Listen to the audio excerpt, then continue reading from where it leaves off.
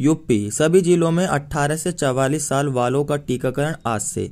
Slot book कराने वालों का होगा वैक्सीनेशन। मुख्यमंत्री योगी आदित्यनाथ ने टीकाकरण की समीक्षा में कोविड वैक्सीन की कार्रवाई ज़ीरो वेस्टेज को ध्यान में रखते हुए संचालित करने का निर्देश दिया।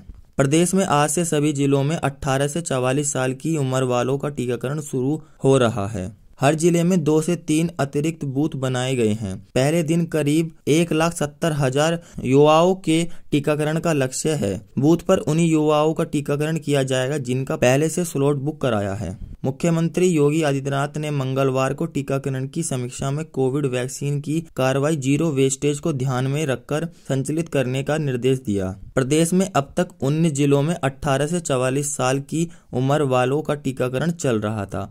एक जून से सभी जिलों में इसकी शुरुआत की गई है।